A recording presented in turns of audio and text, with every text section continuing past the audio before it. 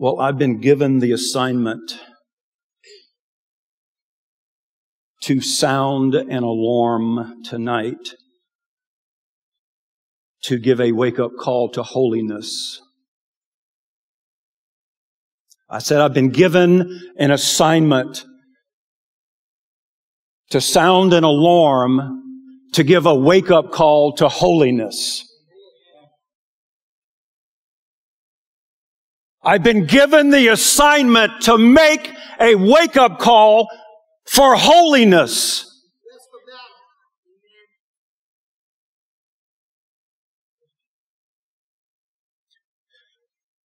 God laid on my heart this morning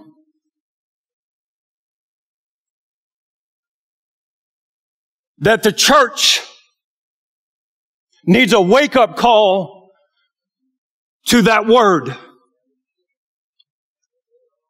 Because we're playing church and not praying in church. Because we may be giving God an occasional Sunday or Wednesday, but that's it.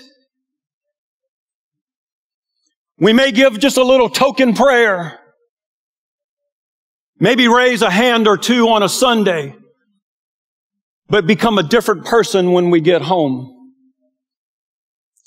Faithfulness and righteousness are words that carry little meaning anymore. Honoring God and revering Him seems old school, a thing of the past. We hear sermons on forgiveness and do nothing about it. We throw a couple Christianese words out there that sound a little churchy. But man, when we get back to that job, we've got a different vocabulary. And this is what I believe with everything within me. that if we are not careful, the next generation will only know a God via maybe a TV or a device. And to them, it may look like a reality show because we got a little bit of music and we got a little bit of words being spoken. Are y'all following me where I'm going with this? Amen. I'm sounding an alarm to give us, the church, a wake up call to holiness.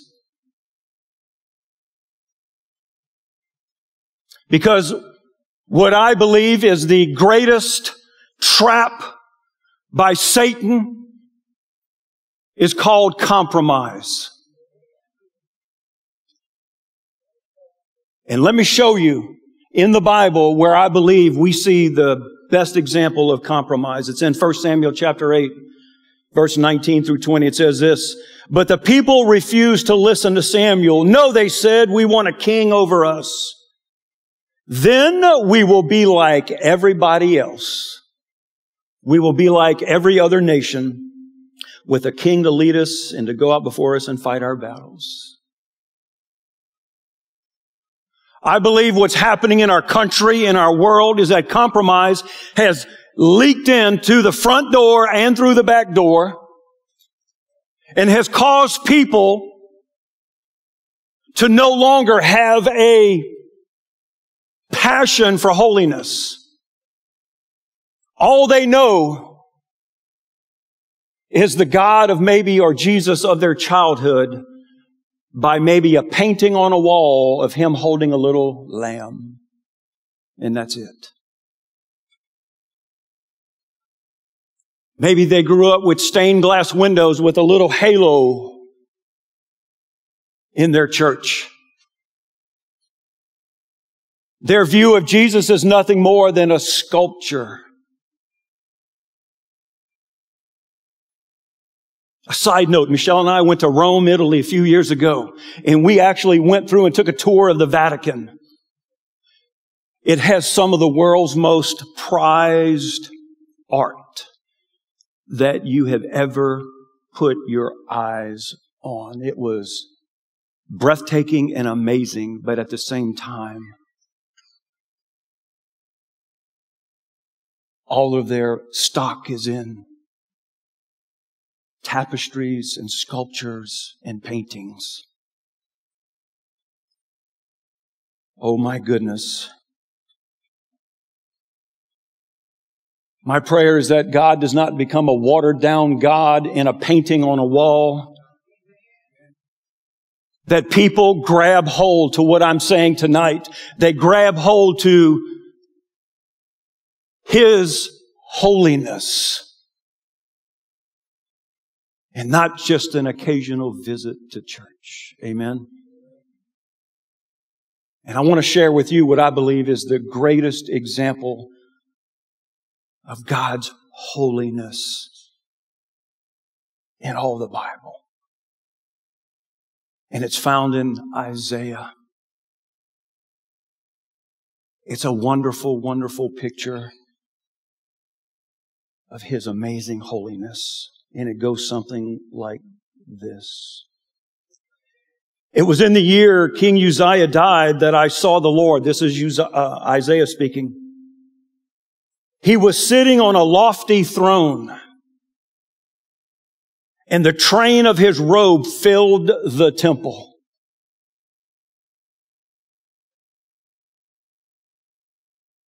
What Isaiah saw was not God sitting on a chair on a stage. It said that his train, his robe, filled the entire temple.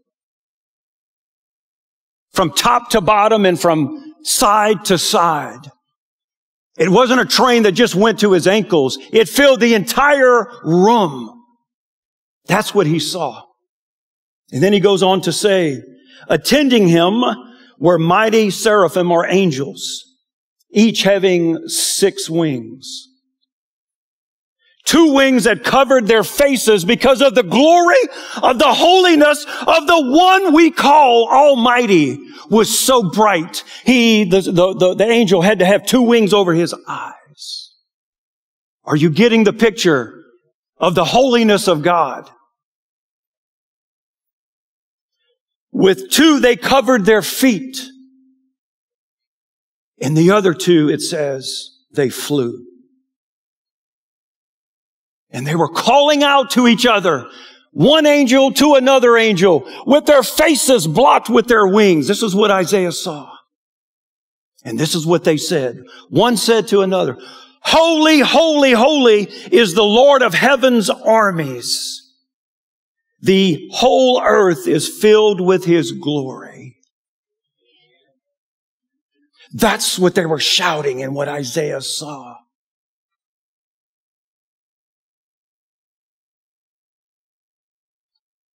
Then it says in verse four, their voices shook the temple to its foundations and the entire building was filled with smoke. Are you getting the picture of God's greatness and holiness? And we think him in a painting with a little lamb is all we get. But His love is so majestic and so large and so wonderful.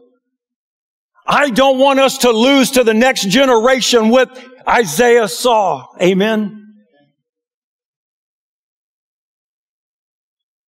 And then I said, this is Isaiah speaking. He says, Oh, it's all over. I am doomed for I am a sinful man. I have filthy lips and I live among a people with filthy lips. Yet I have seen the King, the Lord of heaven's armies.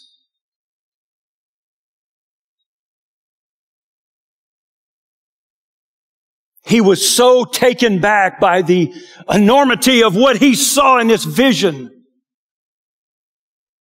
And he's like, oh my gosh, God is is so wonderful, and here I am, unworthy to even take a peek at who He is.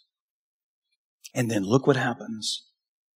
Then one of the seraphim or angels flew to me with a burning coal he had taken from the altar with a pair of tongs. He touched my lips with it and said, See, this coal has touched your lips.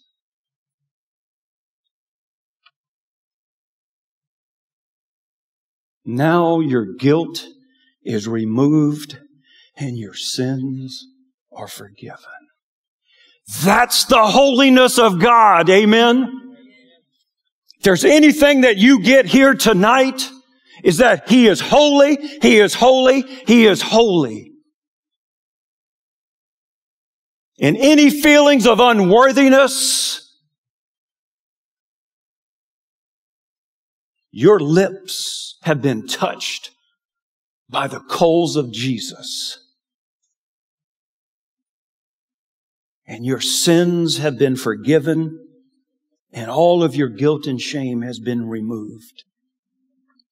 I think that's a great place to say amen.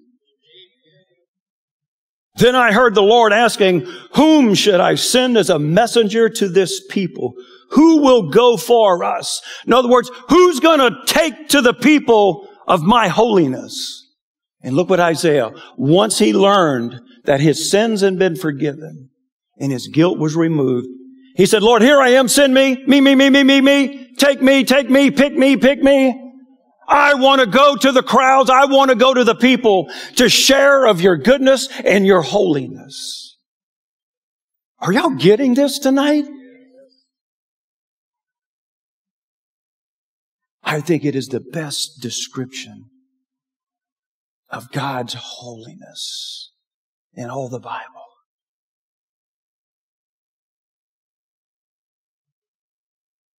And then with that said, God takes it a step further for us. Some of you might remember, you might be old enough to remember Paul Harvey. The rest of the story. Because in 1 Peter 1 15 and 16, but just as he who called you is holy, so be holy in all you do. For it is written, Be holy because I am holy. Wait a minute, Rob. We're called to holiness? Yeah, Rob, you know, they, the Bible talks about lifting holy hands, uh, holy ground, holy cities, holy nations. But me, holy? Holiness has become to a lot of people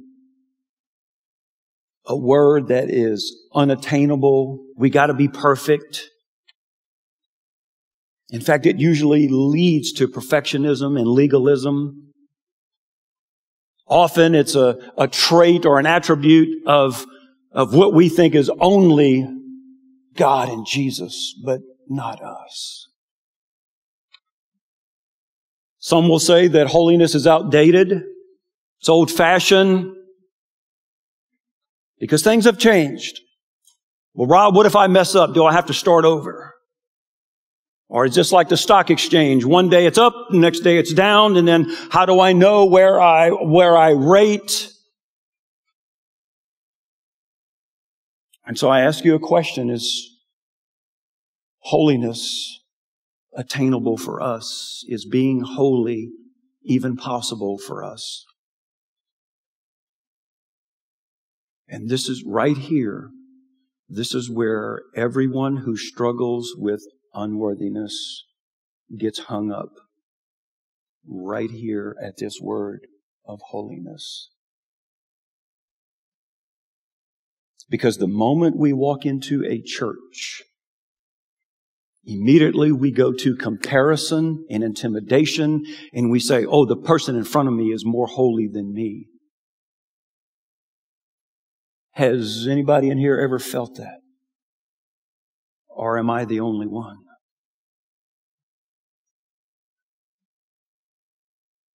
I used to walk, and Michelle and I used to sit right here, and I, I, I struggled with comparison and intimidation for years.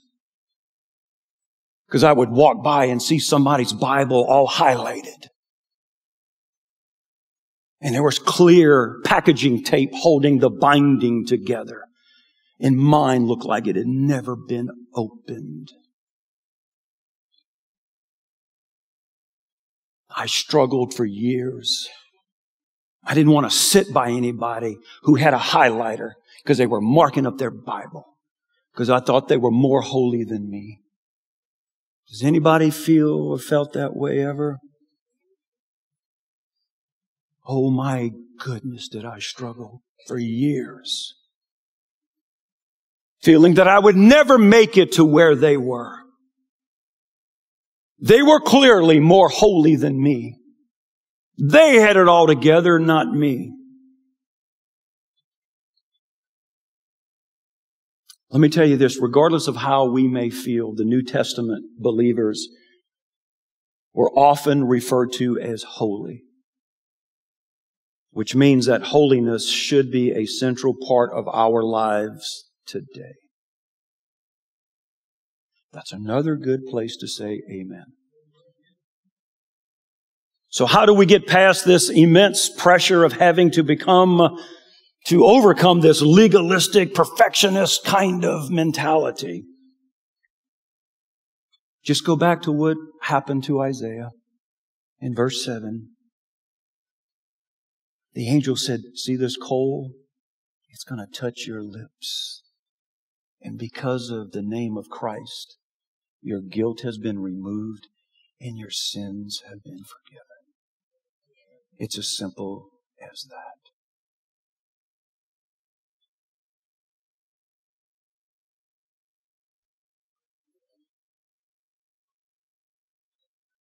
The word holiness means set apart. It means different. I don't know if you know this or not, but you're different. I'm different. If you're a born again believer, you have been set apart.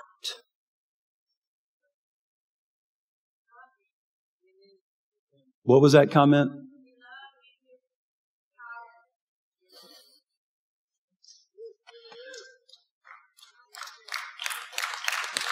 Being different. Being different. Being different being set apart to not just do the work of the ministry, but set apart to be a holy people, a holy man, a holy woman, a holy child.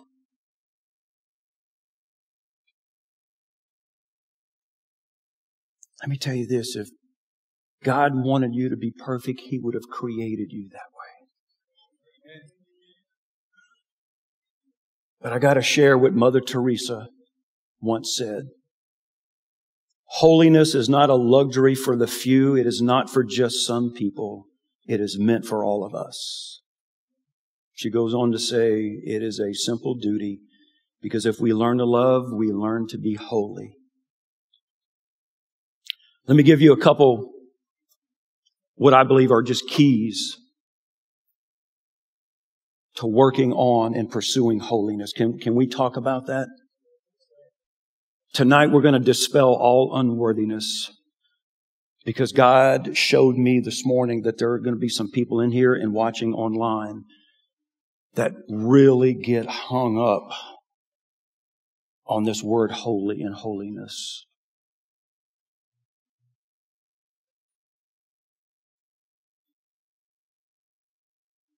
And I believe tonight you will be set free for the rest of your life. And you will not look at holiness as something that can never be reached, but you can look at it as I'm working on holiness. Amen. So key number one is this. You got to realize it's a joint venture when we talk about holiness. It's a joint venture between God and us, between our Savior and us. Yes, we need to work out our salvation. We need to work at doing good. We need to work at loving and, and whatnot, right? But the operation of the Holy Spirit in us is what helps us move in a direction towards being holy. I, I, I gotta ask, is talking about holiness okay in church?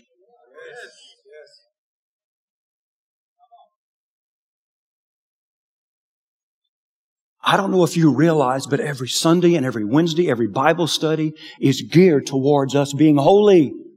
Yeah, the topic may change from week to week, right? But it's about being holy. Not being good or your best effort, but about being holy, walking in holiness. Let me tell you this, God will not force us to be holy. He gives us opportunities for us to walk in it. Amen. He gives us that responsibility. In 1 Peter 3:15 it says this, but in your hearts, you see that's where it begins that joint venture. Right here in your heart is where it begins. He says set Christ apart as holy. You see, if we're going to walk in holiness, we've got to understand that He is holy and we've got to acknowledge Him. Look what it says, acknowledging Him, giving Him first place in our lives.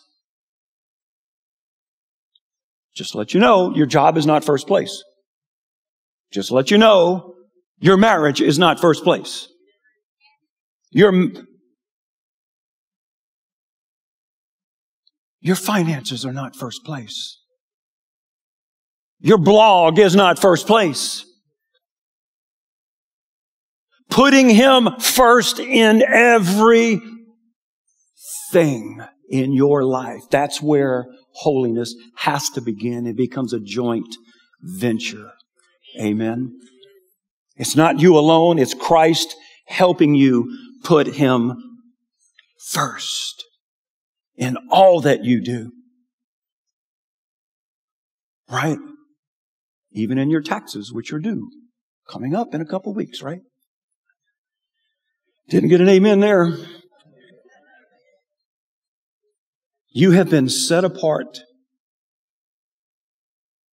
to love God and to do what He wants by placing Him first in every avenue of your life.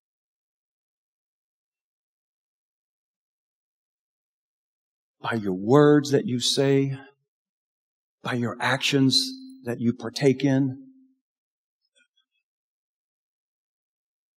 I'm not here tonight to condemn or to point the finger.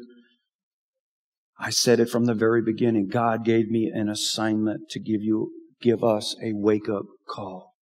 Me included. Amen.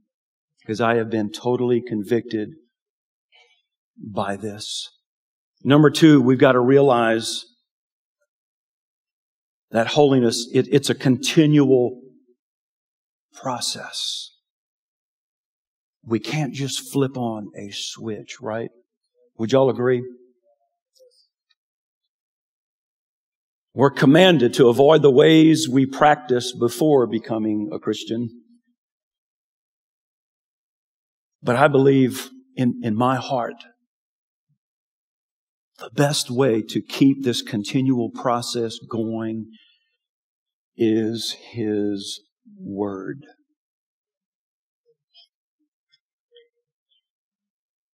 Now listen, can we just be honest and transparent?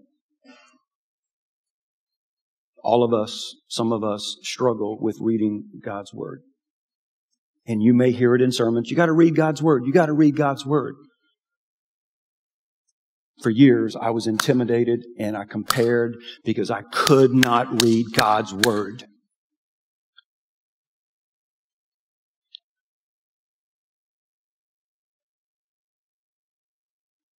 And one of the things that I was told growing up in another denomination by the minister was that God's Word could not be read by the common people. And God alerted me one day, and I got that stinking spirit broken off of me. And it started me on a process of reading and comprehending what I was reading. Oh, I was reading, but it, it was just here and it wasn't making its way. It was getting lost in this 18 inch distance. And, and let me just offer this to you. Michelle can tell you, I love reading God's Word. You can take my house. You can take my guns. You can take my lawnmower. But don't take my Bible because I will fight you tooth and nail. Amen. You can't have my Bible.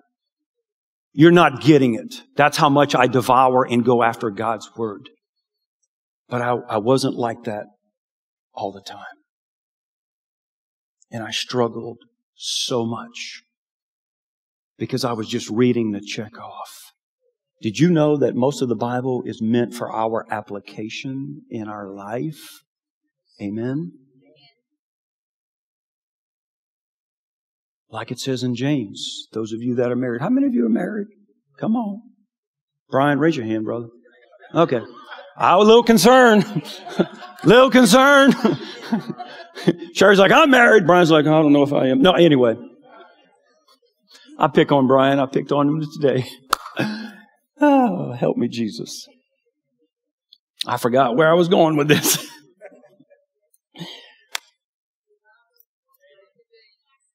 James, for those of you that are married,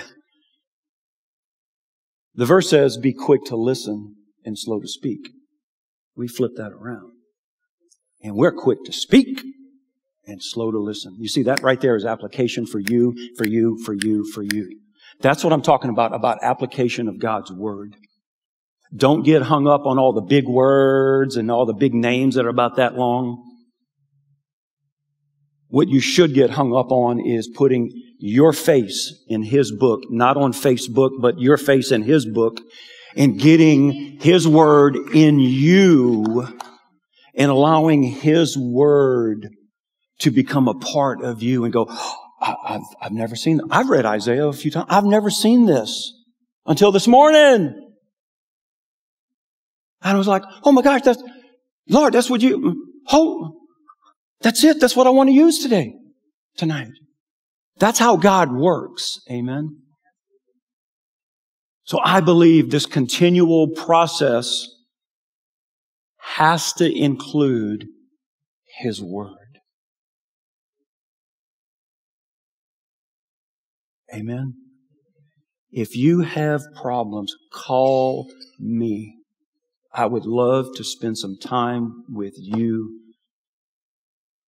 on how to overcome some things about reading God's Word.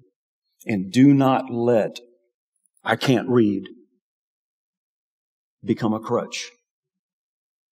You can get it on audio as well. Amen. But it's about seeing His Word come alive in you. Speaking of continual process, in 2 Timothy 3.14 it says this, But as for you, continue in what you have learned and have become convinced of because you know those from whom you learned it.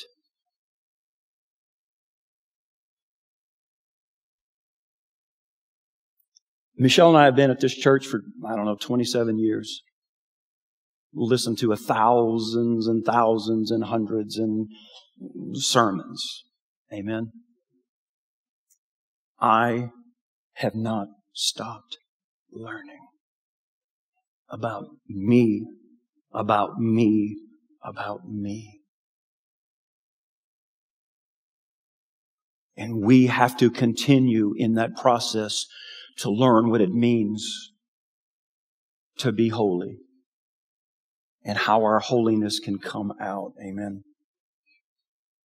You're not only set apart in a joint venture, but you're set apart to continue because God is trying to get results out of us. Amen. Listen, there are no shortcuts to holiness. It requires some work, and we're going to talk about that in just a second. And I got to throw in a little, uh, what do you call it, a footnote? What are those things at the bottom of the page? A footnote. We all grow at different rates,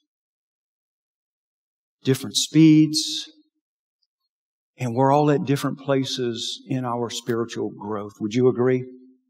So please do not let the intimidation of others because they might pray better or they might read their Bible better.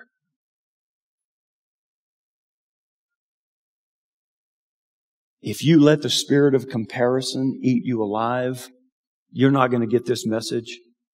You're not going to understand. God has called us to be holy. Amen. And finally, number three,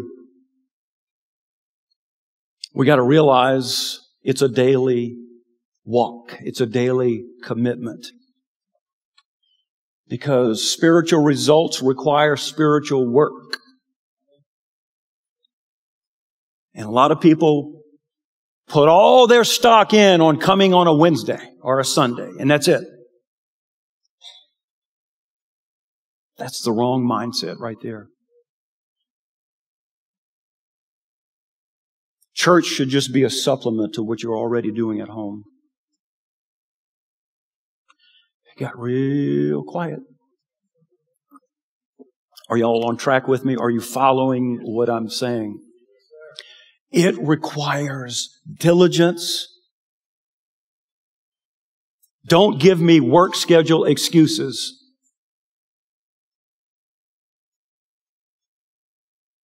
I'm meddling now. My name's Rob and I'm a meddler. Holiness will not come automatically. We have to put forth some effort. Amen. Proverbs 14, 23 says this, all hard work brings a profit. Profit in the business world is good, isn't it? How many of you are business owners? Let me see. Profit's good, right? Means you're doing something right. Profit in His Word and in holiness brings forth such life into each of us. And let me just say this, the Holy Spirit will develop within you. Once you begin the process of getting into His Word and let His Word speak to you and the next thing you know, you and your wife are on the same page. And the next thing you know, you and your wife are praying together. That's a miracle right there. Amen. Next thing you know, you're reading your Bible together. That's an amen. But the Holy Spirit will work in you, within you, and through you to help you grow in this area of holiness. The Bible calls him a teacher. He's the best teacher that I know. Oh, I lost my place.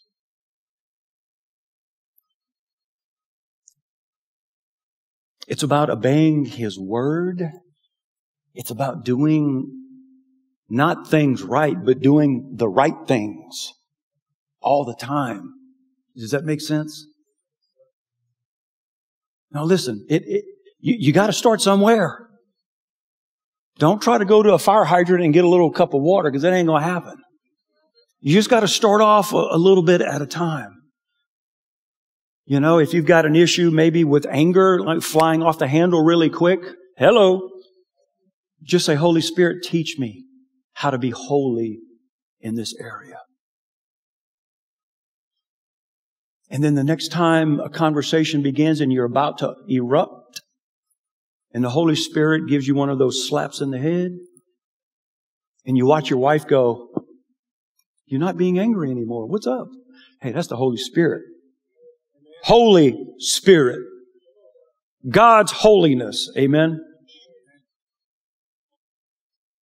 By taking it a day at a time, we begin to eliminate those things that have made us unholy.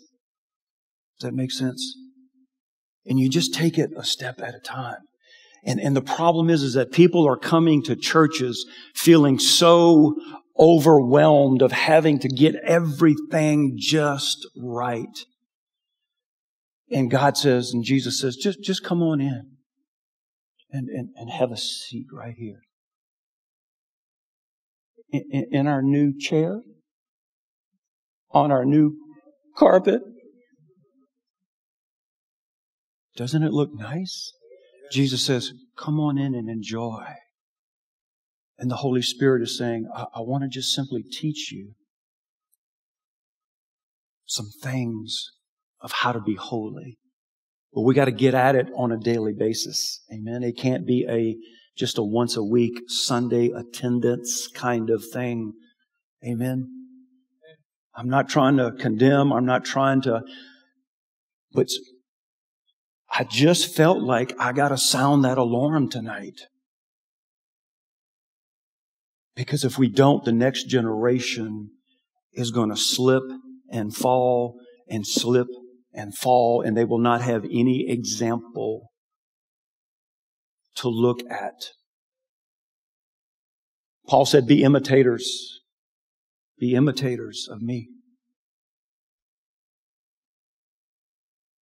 We have to practice the walk of holiness. Amen. But it just can't be at church when everybody does this and go, Hallelujah. How are you, brother? Oh, I'm fine. But when you go to work on Monday, your employees are like, wait a minute. Man, I went to church on, on Sunday and I saw you, but on Monday is kind of a little different. You know what I'm saying? Are y'all good with this tonight? It's just a gut check for me, and, and I just had to share what was on my heart to you. In no way is it condemning. It's just saying we all have to work on holiness. And we have to remember it was because of the coals of that angel on Isaiah's lips. He was in a vision. He got revelation. That his unworthiness got broken off of his life. And now he sees the God of the armies and how magnificent he is. And he's no longer hanging on a picture in a hallway of a church with a little lamb in his arms.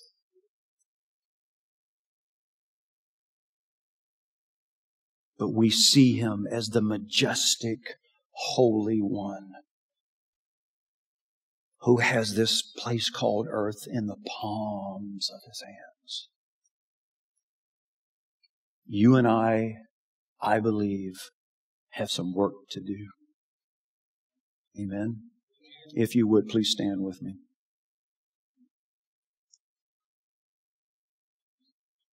I just want you to bow your head.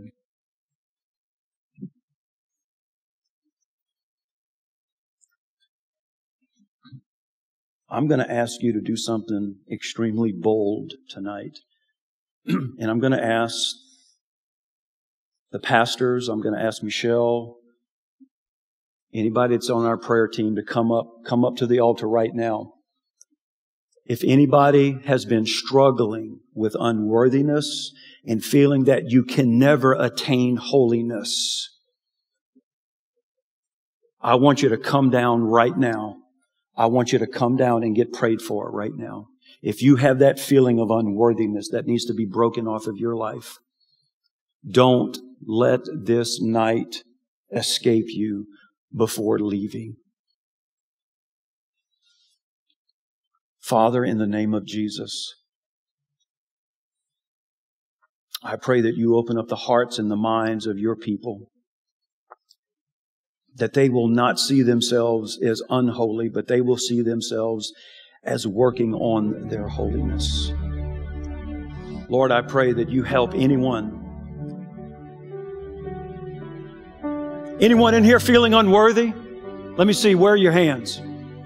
Raise your hands. Let me see. Come on down, ma'am. Let, us pray. Anybody else? Come on down, sir. Let somebody pray for you. Come on. Anybody else feeling unworthy that you can never attain this concept of holiness? Let someone pray for you. Maybe it was spoken over you at an early age. Maybe you've been dealing with unworthiness for a very long time. Tonight is your night to get delivered from unworthiness. Come on down. Thank you, ma'am, for being bold. Thank you, ma'am, for being bold. Let someone pray for you and break this unworthiness spirit off of you. because the coals of the fire are touching your lips tonight, because your sins have been forgiven, your shame has been taken away. Righteousness shall be yours. Father, right now in the name of Jesus, we declare, Lord, that we will strive to get on a path of holiness. Lord, we pray that tonight you will help us. We understand that it's got a joint venture. Lord, we understand and realize that it's a continual process. And also, Lord, that it is a daily walk. I pray that right now, Lord, your spirit is alive and well. Anybody have trouble reading God's word? I want you to come on down. Anybody that has trouble reading, I want to specifically pray for you and pray that God would break that spirit of intimidation off of you. If you have trouble reading your Bible, just raise your hand so that I can pray. And I'm going to pray a, a prayer over each one of you. In the anybody else that has trouble reading their Bible, come on down. Hallelujah. In fact, do me a favor, you uh, four, if you could come over here to Scotty, I'm going to pray for y'all if you have trouble reading your Bible, I want to lay hands on every one of you and declare God's goodness that He's opening up His Word so that you can see yourself as holy and not unholy. Father, I declare that your goodness is over these people right now in Jesus' name, that you are breaking unworthiness. You are breaking, Lord, the spirit that has been holding them back, that they will see themselves as being holy. Lord, your word says, be holy as you are holy. And so, Lord, I declare your goodness to be over this congregation tonight. May the spirit of holiness take root in our lives. May the spirit of holiness come alive in us like never before. May, Lord, we take that leap of faith and not, Lord, leave the next generation faithless, but, Lord, that they will see us as being faithful. Lord, I thank you for tonight. I thank you that the Word of God is truth. The Word of God is helping us, and the Word of God is putting on a path, putting us on a path of holiness. In Jesus' name we pray. Amen and amen and amen and amen. Where you guys are dismissed as I pray for these people.